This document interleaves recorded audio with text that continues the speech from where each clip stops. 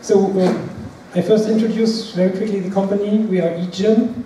You can see the orange color in the logo, and we are growing. We are becoming at some day, big fat ass or corporation. So um, that is why I have to use company colors and all kinds of crazy animations.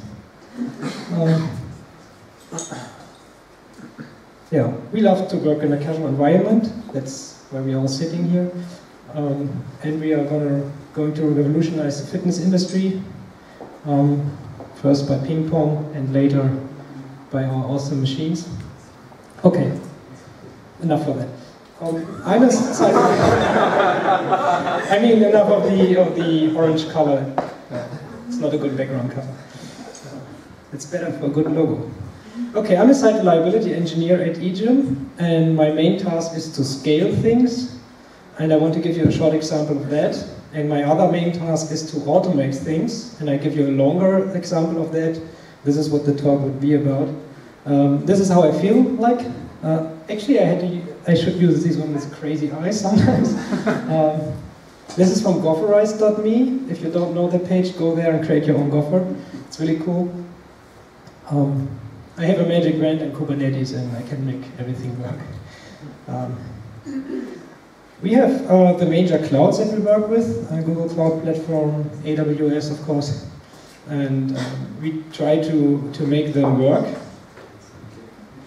Um, so that's me trying to make these, these both uh, work together with me. And sometimes um, I have to make them work together with each other.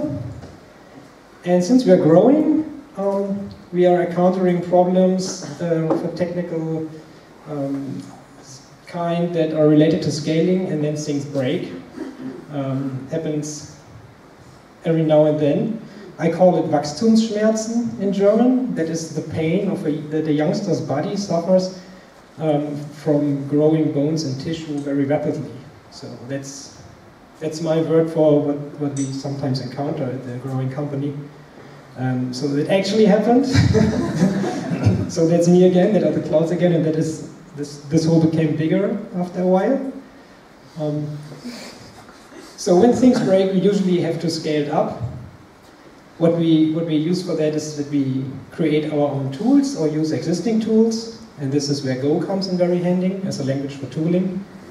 Um, and then we scale things up, and when we did that, um, things are bigger, and there's room for new innovation. There's also room for more SREs. Apply. okay, now to the, to the real meat. Um, we also automate things um, as SREs. We own the reliability. We do 24-7 monitoring. We have on-call duties. And in the future, we are going to consult the teams uh, regarding scalability and automation. Um, and what I will talk about today is uh, tooling that we use for DNS deployments. So a few DNS basics, very basics, only for those who may not be very familiar with DNS. DNS is, um, well, they, they, they, they explained it to me like it's a telephone book, but who today remembers telephones? So, I don't know. It resolves names to, to data, mostly IP addresses. And we call this uh, zone information. I'll get into detail that a bit later.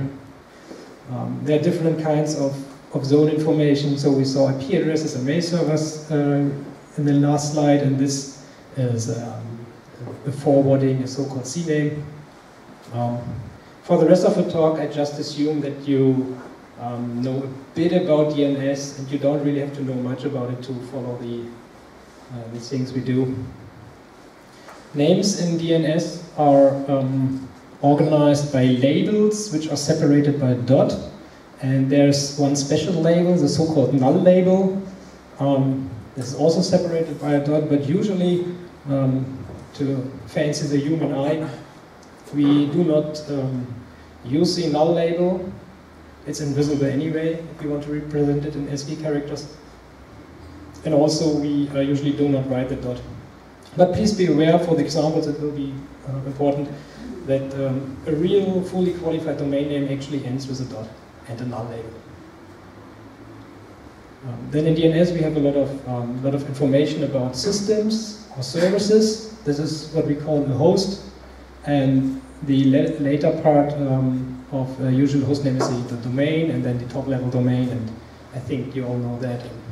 When, when I talk about a zone, I usually mean um, one of our, of our domains that end with a top level domain, and sometimes we have subzones to uh, represent organizational structure. This from Wikipedia. Um, I like that a lot because they uh, explicitly named these um, this year the delegated subzone. We will see that in a minute.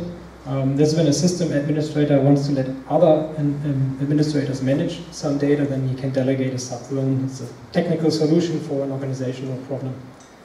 Um, DNS at eGym is a bit um, complicated, maybe scary.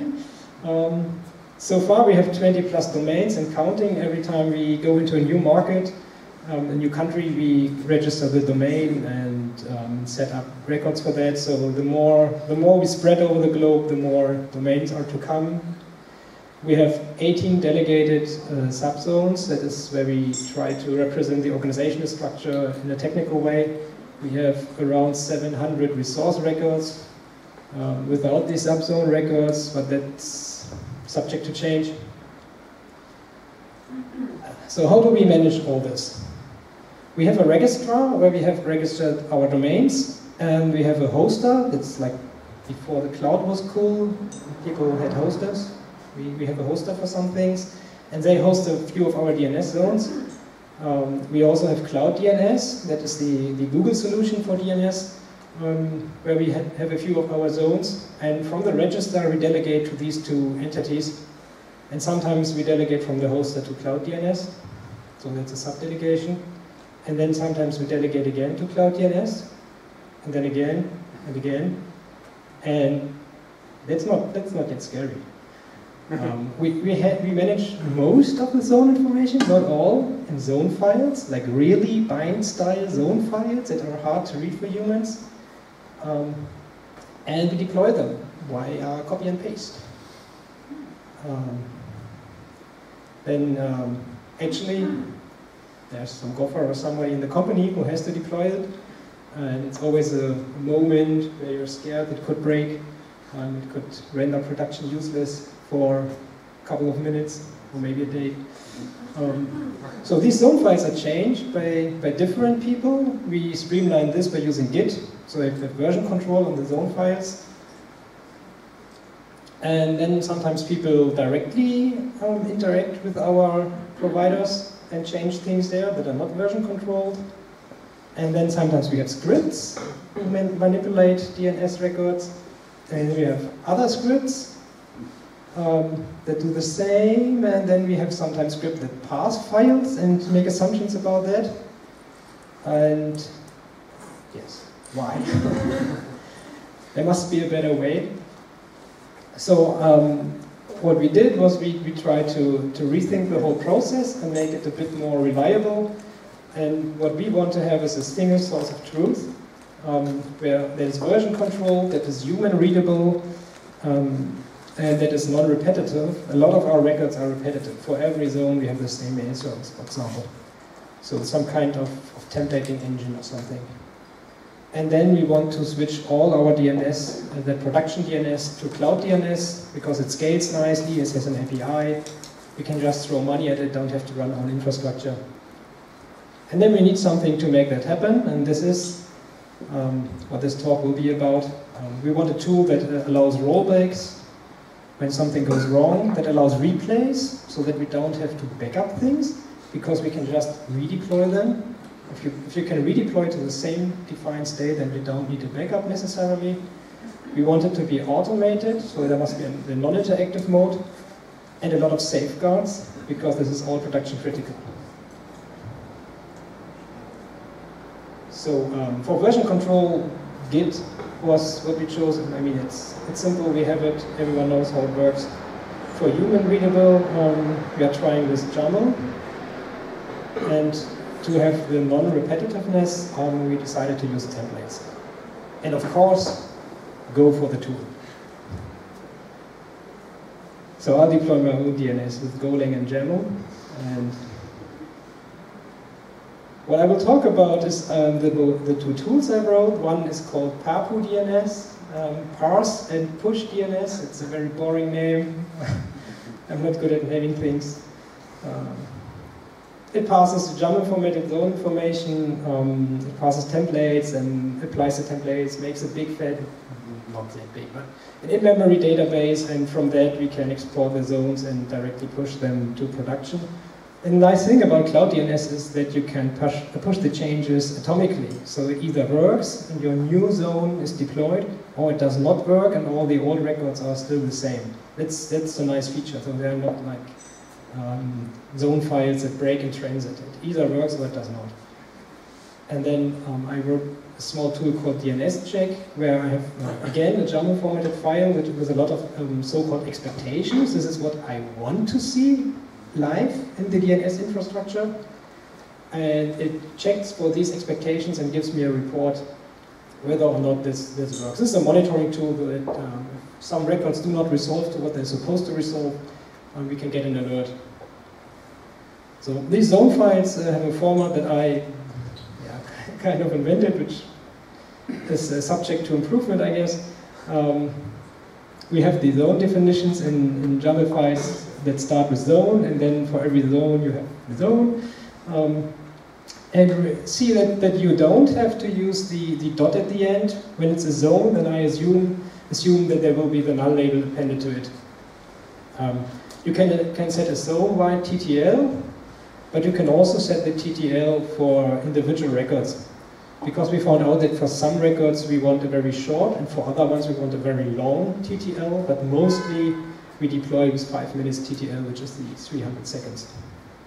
Um, and then I try to make it a bit more human-friendly um, by, for example, um, the CNAME record, which I actually do not don't really know how, how they ever came up with the name CNAME. Um, so I named it forwarding, and we have a target. And here, for example, the, the null label is very important because otherwise it would, it would be interpreted as um, a sub, a host inside the zone. Um, and then, um, since the computer can figure out whether or not you're using legacy IP or the current state of IP technology, um, we don't have A and quad A records, we just have the IP literals, and the right records get generated automatically. I mean, that's not a human task. Um, then we have templates, and templates are basically the same. Um, they have um, a collection of names, and they get applied to a zone. That's that's the whole magic. So there's there's not not much complicated here. You can add a description that is not used by the tooling yet, but I thought it may be interesting in the future to have a description when something breaks that you at least know what it was supposed to be. Um, and interestingly, for uh, YAML does not allow one to have an at in a string. That's a reserved symbol. So whenever you use the at, which means the root zone, um, you have to put it in, in quotation marks. I have not found a workaround for that. I think it's kind of the YAML specification. Um, yeah, then uh, this, for example, is a shortened um, example of the of Gmail. When you want to have your domain email handled by, by Google, then you can just pull in the template Gmail, and it adds all the records to the zone. So here again, you see when we when we're referring to a host name, of course, we have the null labeled, and uh, if we don't, then um, it's the regular host. Okay, now the Go part. Um, Go and YAML, um, I use the YAML.v2 package for parsing, parsing YAML. Um, and there's a function that's called unmarshal, and you just throw in um, a byte buffer, and what comes out is, um, or it writes to an interface where you, where you have to for, um, define a structure for what you want to, want to see. Um, so you have to define a custom type that represents the information you want to fetch out of the journal. Um, and then there's also another function called un unmarshaled strict. Um, and when you use unmarshaled strict, then it's uh, stricter parsing. So when there are things that are not expected, then it throws an error. And let's see some code.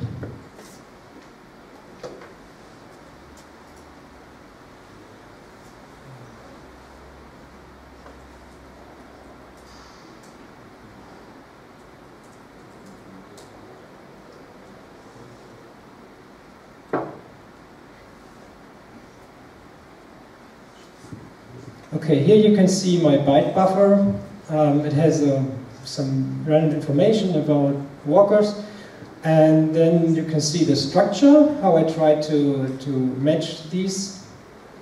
And we first, so the, the first part, this one, will be matched by a structure um, which has the exported name Walkers. Walkers. It's very important that you write the first letter in capital because it has to be exported, otherwise the YAML package could not access the variable and could not write on it. Um, and it is just a slice of YAML walkers and it's defined a few lines earlier, um, which consists of name and type. I tried to do this nested, but that does not work. For some reason you have to define everything. Um, either it's impossible or I'm not, not able to do it. Um, so when you have bigger files like the zone files I showed earlier, it's quite a lot of types you have to define. It's a bit annoying, I think. Um, yeah.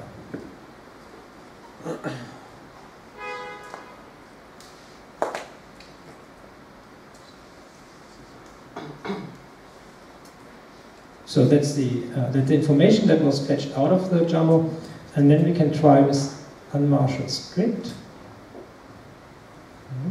And you see that there's, there's this info thing here, um, and that is not expected, but it is ignored. But when I pass it in the strict style, which I prefer for my files, um, you see, not a Wimpro.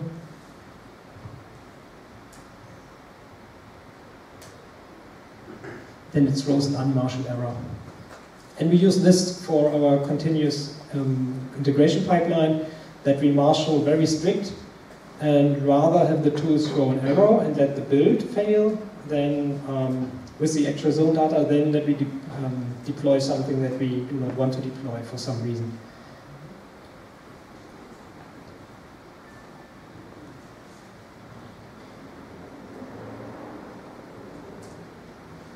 Okay, now the more interesting part, Go and DNS. And the net package um, is res responsible or can be used for resolving DNS host names. And since Go 1.8, um, they changed something and you can choose if you want to have a pure Go resolver or you want to use a C Go resolver. Well, actually you can only choose if you want to prefer the pure Go resolver, but it still depends a bit on the system and the domain you're, you're trying to look up um, if the system uses a Go resolver, the built-in Go resolver, or if it uses a, the one that provided, is provided by the system. In either case, it will use the name servers that are provided by the system. So it's not about choosing the name server, it's more about choosing, do I want to have this whole thing in a Go routine, which is a bit cheaper, or do I want to have an actual thread in the system that may be blocking for a while. And then um, there's also a library for raw DNS queries because the, um, the, the Go, Go built-in resolvers have some interesting effects that can sometimes be a bit disturbing in monitoring. Um, I, I tried to, to find the differences on the wire between the Go resolver and the CGO resolver, and at least on my system, on Linux, on x86, it's basically the same. Have not seen any interesting difference. But performance-wise, the pure the pure resolver is always always better.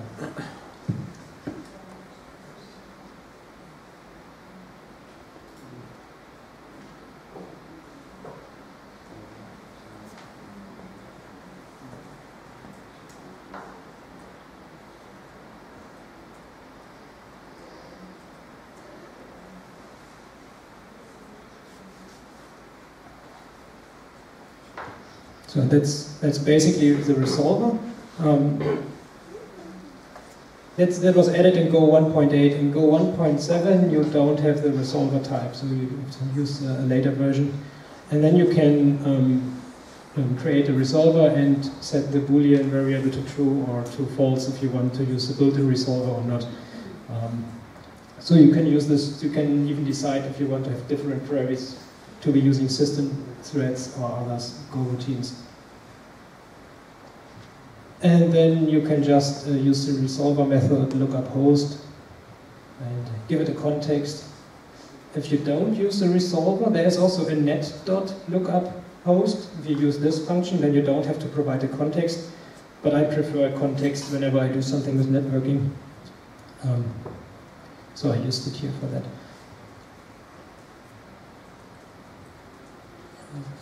Let's run this.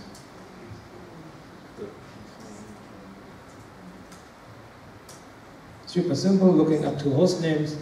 Um, and we will later see why this is a bit why this is a bit surprising. So um, we just have to remember that um, when we look up egym.de, www.egym.de, that we get IP addresses.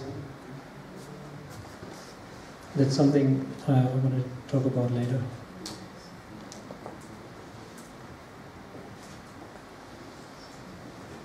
So it's super boring. It's the same stuff again. Now the prefer go with false. The rest of the code is the same to prove that it really works. Yeah. So the same result. So it does not make a big difference from a programmer's perspective. It's only interesting for scaling. And then we have the raw resolver.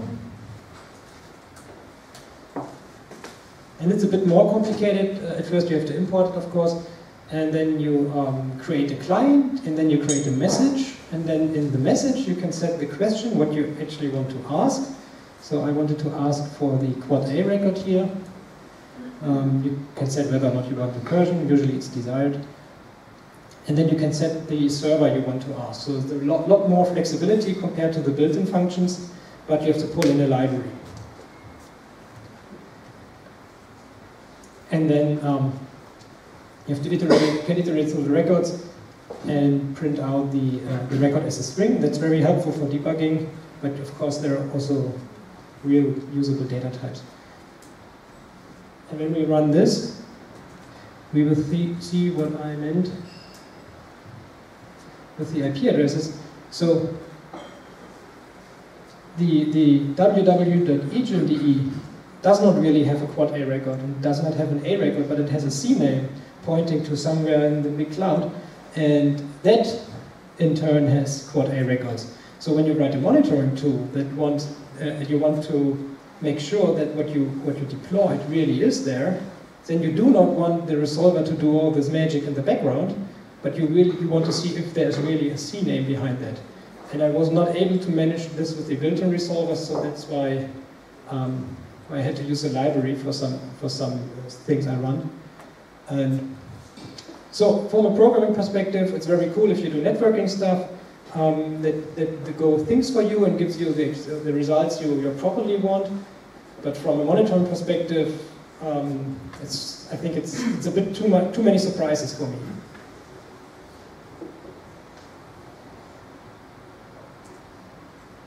Yeah, here again, so this is what the, the record actually looks like.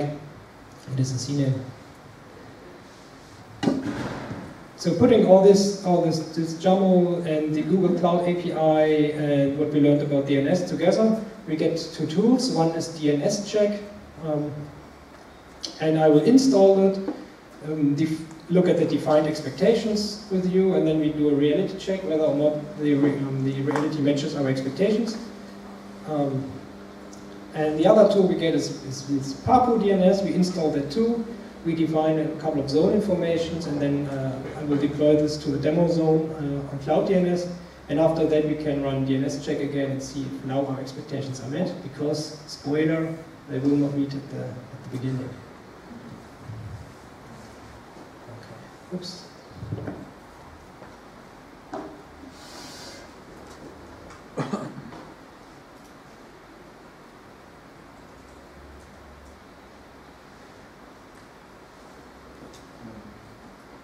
So for the tools, um, for DNS check, it uses these uh, expectation files, so the, these here, and for Papu DNS to deploy the things, it uses um, zone data files. I prepared them because they're boring to write. Oops. Oh, sorry. Um, yeah, let me deploy, let me run the DNS check first. So to install it, you just do a go get um, on the URL. And it's eGym GmbH. And then it's a bit tedious, it's DNS tools CMD. Got that right? And then it fetches the source, compiles it, and you can run it at home.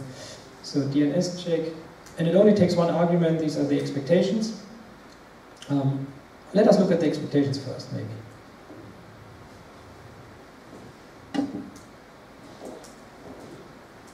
It's really hard, it's only one hand. So this is what expectations file looks like. Um, we have every name, including the null label, um, the type of record we want to check, and then the data we expect in random order. So the order is not important, it's actually not non-deterministic in DNS. And the type of records. And I want to deploy these two records today, and so what I do, like test-driven network deployments, I first write the expectations, and then we see whether or not our infrastructure can match them.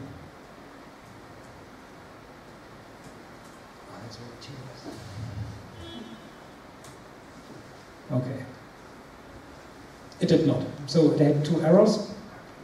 Um, the domain www.demo.general.com does not exist. So we have to change this.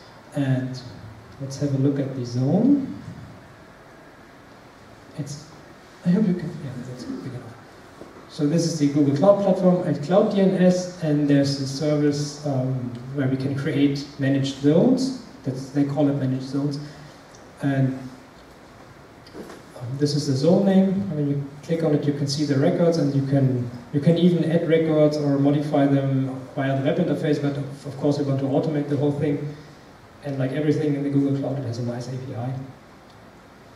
Um, to access this, I have created a so-called service account, which is just a kind of JSON encoded credentials that allows automation tools or other services to access the API in a secure manner. So to prove that there's nothing there, I hit refresh again, and it should, shouldn't list anything. Yeah, it's still only the zone itself. So now we will run. I, I won't show you how to install it, I think you, you get the idea. Um, and Papu DNS has a kind of uh, a few safeguards built in.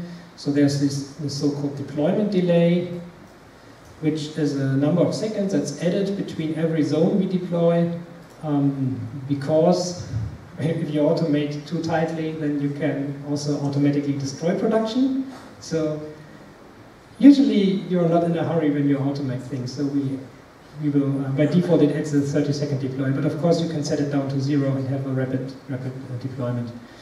Um, you can do a dry run to see if your zone files are matching um, or rightly formatted. You can provide a Google Project ID string to override the one that comes with the service account file. So usually you don't need that option, but if you want to make sure that you do not really deploy to your production project, but maybe to a testing or staging project, then you can set this on the command line to make extra sure it really does not go to production.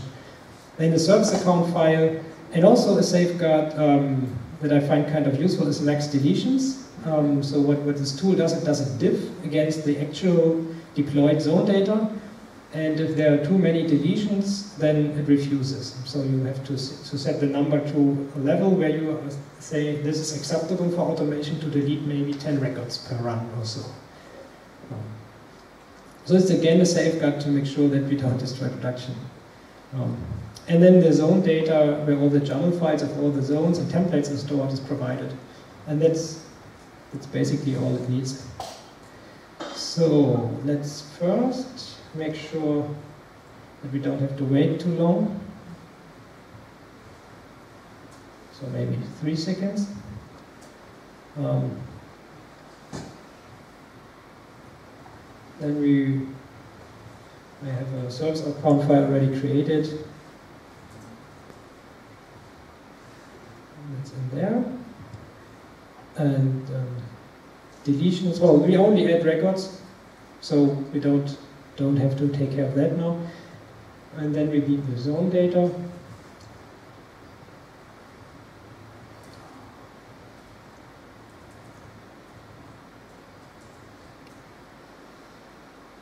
And at the end, the last argument um, is, a, is a, are the zones that we want to deploy. So you can add uh, as many zones as you want.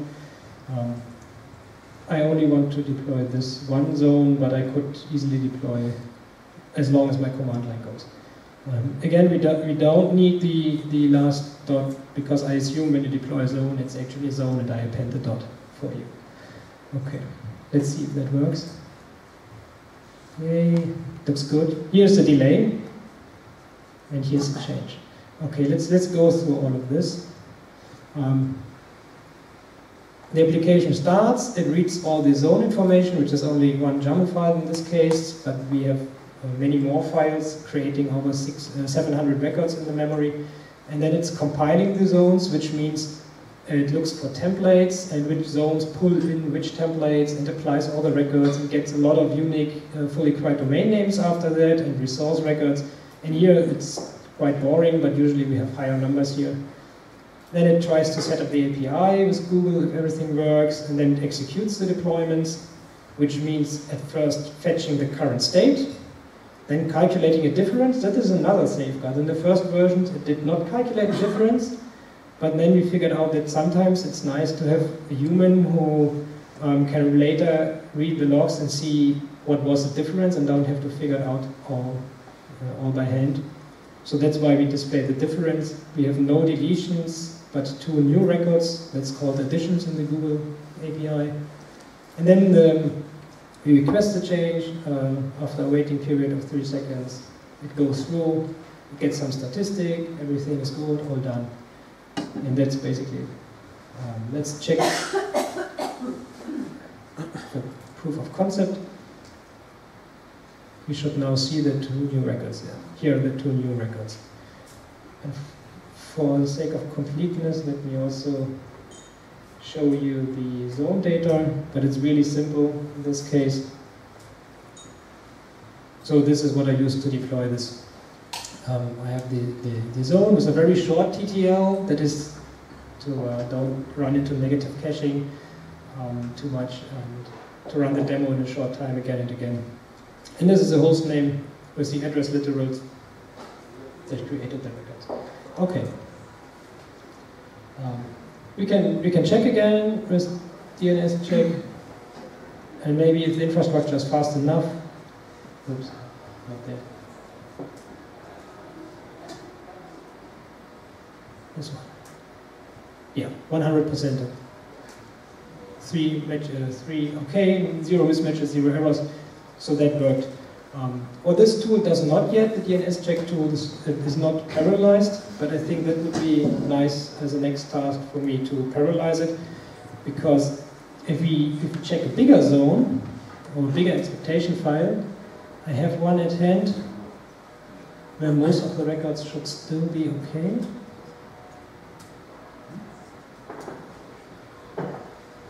So I have an expectation file of our DNS migration thingy, for example.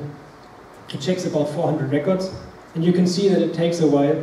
And mostly that is waiting for I.O. For, um, for the network Go routines for the resolver, and I think um, I should use more Go routines in parallel um, to speed this a bit up. Another bottleneck here is the DNS server that we use because it has to cache all these records. Um, and it's usually faster at the second run. Okay, so summary, to finish the talk, um, we started building tools in Go, SREs love Go, because it's from Google and we are fanboys, and yeah. And also, I don't have to convince you why Go is a cool language. Um, we intentionally not use Go routines for critical deployments um, because we want some things to be slow. Humans are slow, so we want our automation to be slow at some point so that the, that the engineer running the automation or overseeing the automation and can have a veto. Because the, the automation will always be faster as the, as the humans, and sometimes we want to have a human have at least a look. Um, I want to parallelize the things in DNS check using Go routines and channels. And um, for the monitoring tool with the expectation files, actually I think it would be cool if it is also generated from the zone information because all the data is already there. The only thing is that the single source of truth could then become the single source of error, maybe. Um, if something is wrong there, and we check if it's really wrong in production, then it's be making sure it's really wrong in production, and I'm not sure if that really is a, is a good idea. So I'm think, thinking about that. Okay, that was it. Um, have a look at our website if you want to become an SRE or want to like uh, to work here. We are a cool company. We have a dev blog um, where we sometimes publish things. And you can reach me on the Twitters and uh, feel free to fetch the code and especially feel free to patch our code. Thank you.